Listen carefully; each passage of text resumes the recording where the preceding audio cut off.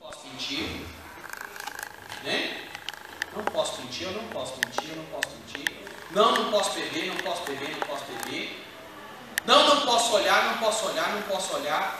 Olhei, pronto, acabou. Misericórdia. Pedi salvação, pedi um monte de coisa. Né? Tá. né? Essas pessoas estão tentando resolver os problemas delas na força do braço. E aí, ela vai entrar num ciclo normalmente de tentativas contínuas e constantes, né? programas de tentativas de mudança de vida, o que sempre vai acabar em fracasso. A maioria das vezes vai acabar em fracasso. Né? Como eu falei, na segunda-feira eu começo o regime.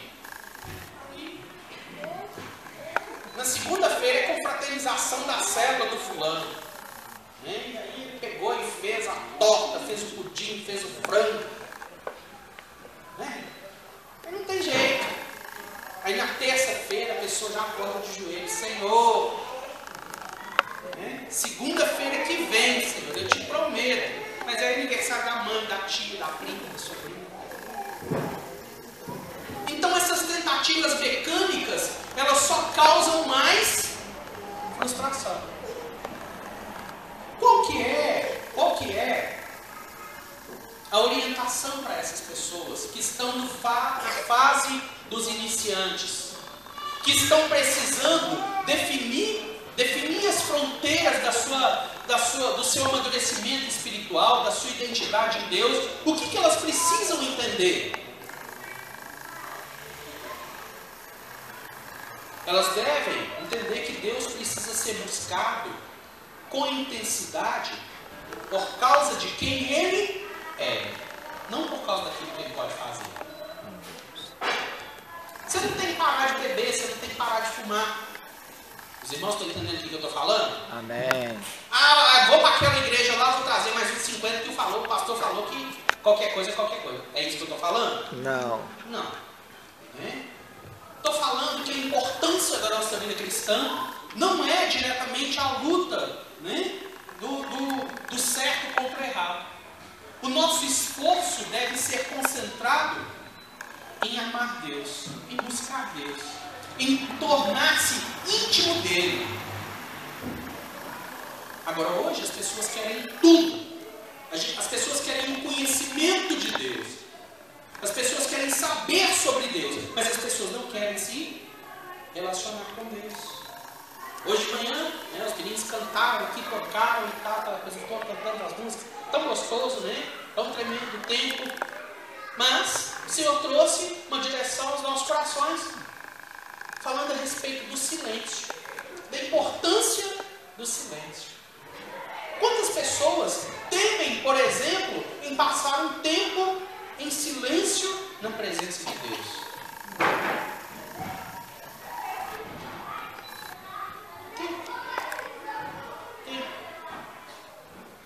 Tem pessoas que se ficam caladas na presença de Deus, é a mesma coisa que estar pelada. A pessoa fica inquieta, a pessoa não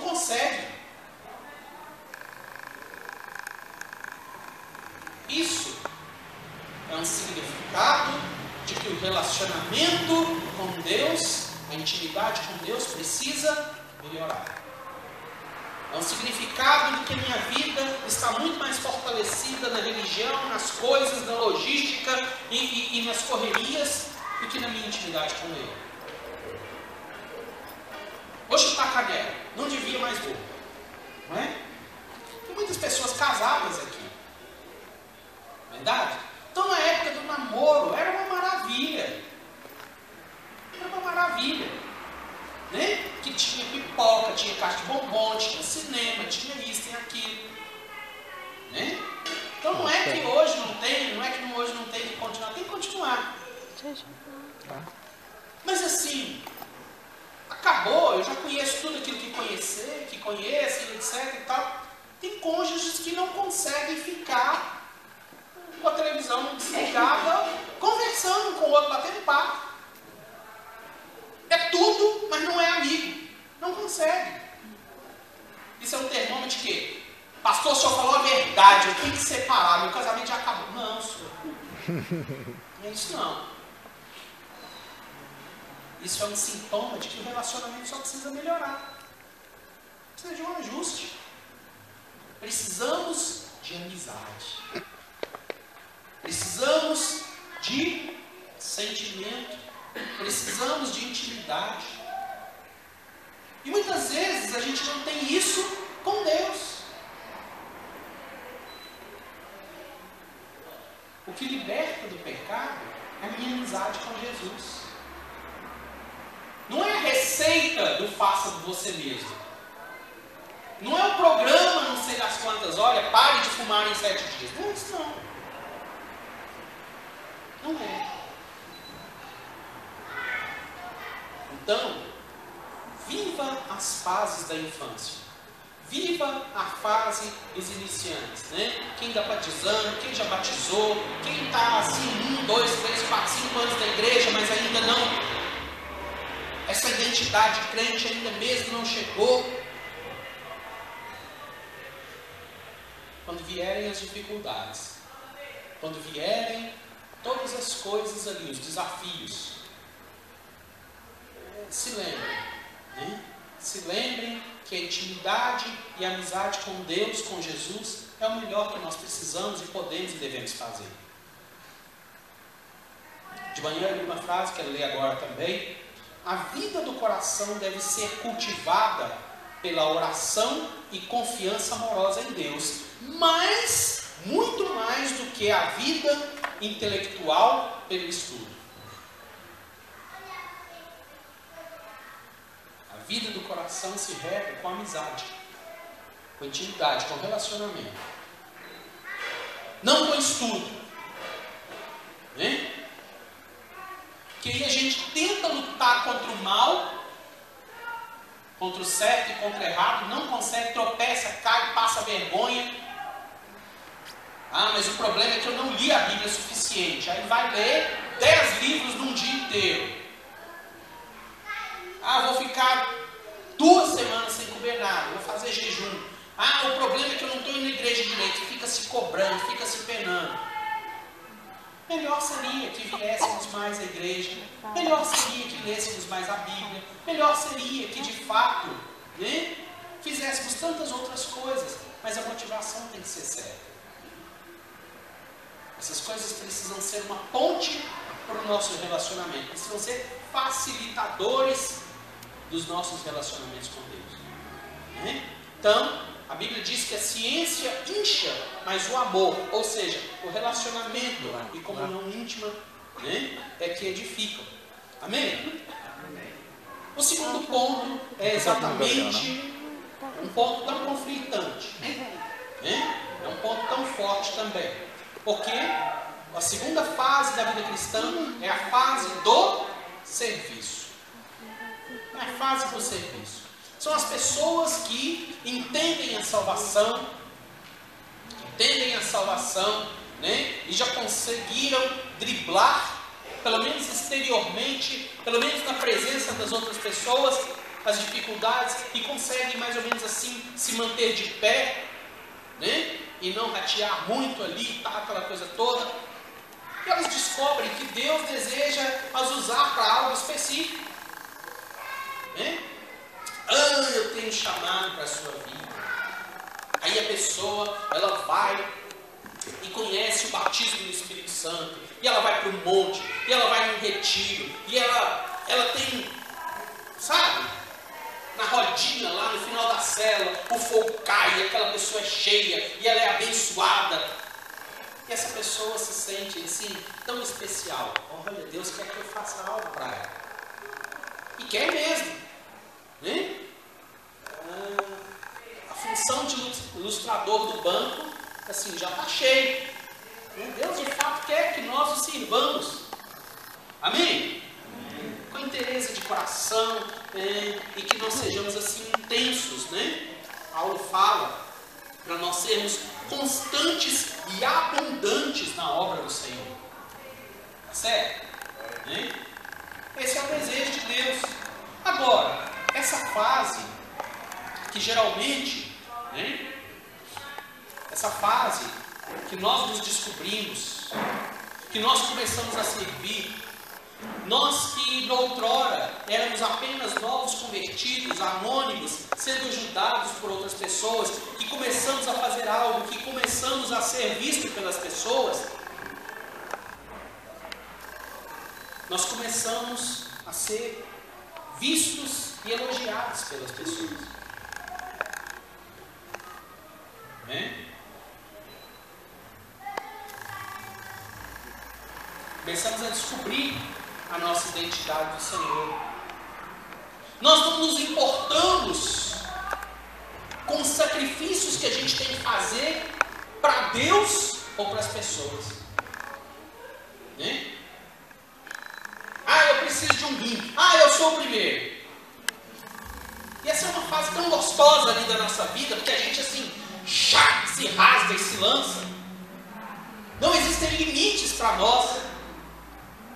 Verdade? É? Não existem limites para nós. Essa é uma fase tão gostosa.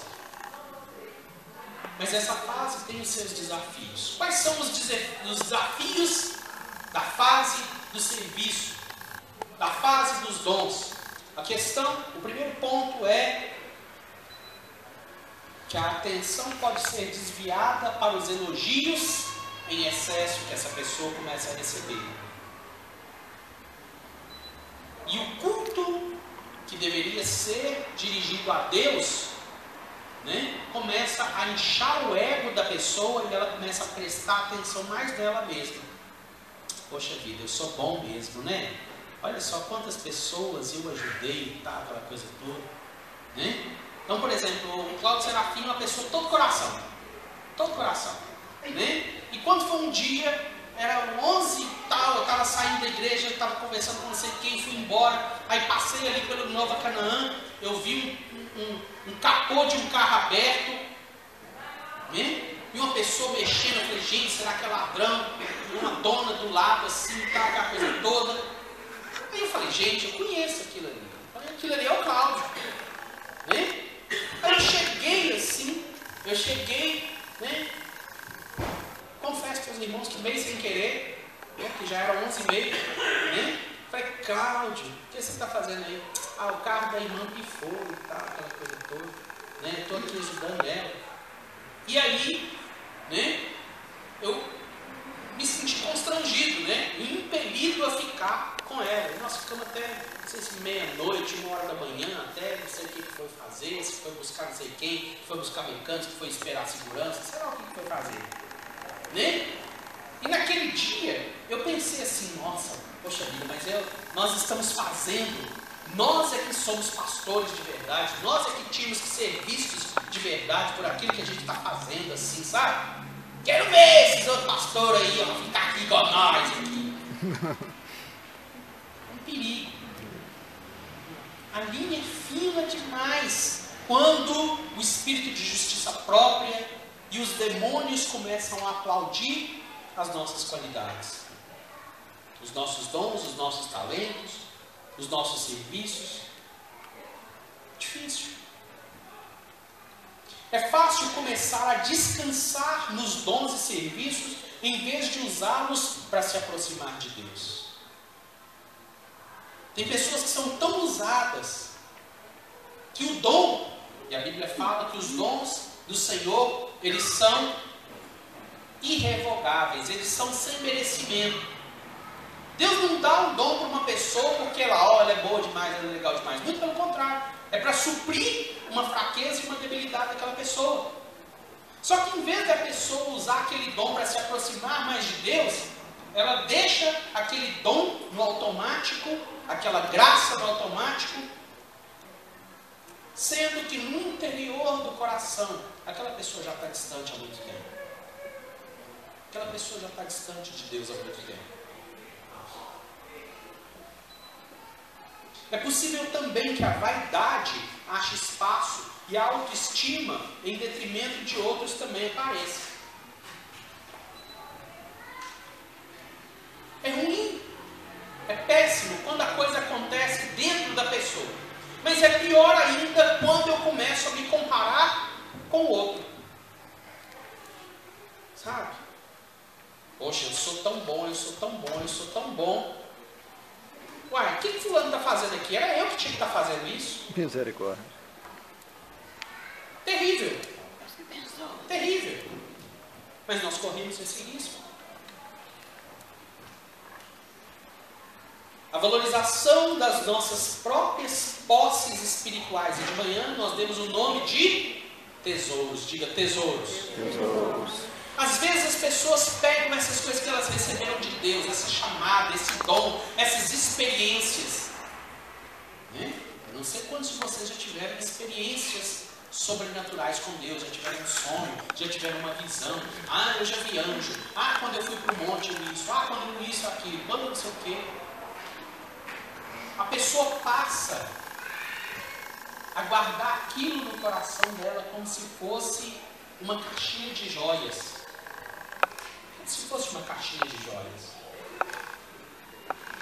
E nada e nem ninguém superam aquela experiência sobrenatural, a manifestação daquele dom que aquela pessoa recebeu.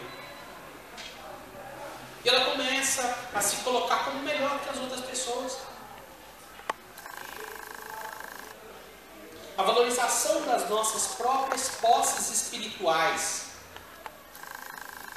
é um obstáculo dos mais difíceis a ser vencidos.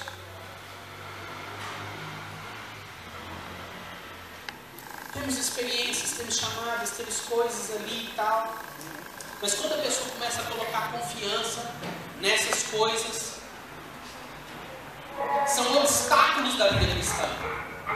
E é muito mais difícil do que vencer o vício de cigarro, o vício da cachaça, o vício da pornografia, o vício disso, o vício daquilo. Muito mais difícil. Porque o ego e a arrogância passam a se manifestar na vida daquela pessoa. Os que estão carregados de tesouros espirituais têm mais dificuldade de entrar na vida pura de fé do que aqueles fracos que estão chegando agora. Essas pessoas acabam exigindo muito de si mesmas. Olha só para vocês verem que coisa terrível. Elas acabam exigindo demais de si mesmas e por isso não estão aptas para cuidar de outras pessoas. Quem recebeu um dom, uma chamada, quem teve uma experiência e dentro do seu coração se tornou um superstar, exige de si mesmo, cobra de si mesmo, e essa cobrança de si mesmo se torna legalista contra as outras pessoas, começa a humilhar as pessoas, começa a pisar as pessoas, começa a desfazer das pessoas, essa pessoa não está pronta para cuidar de outras pessoas. Verdade. Não está pronta. Então são desafios. Eu tenho que andar rápido porque a bateria do troço aqui está acabando.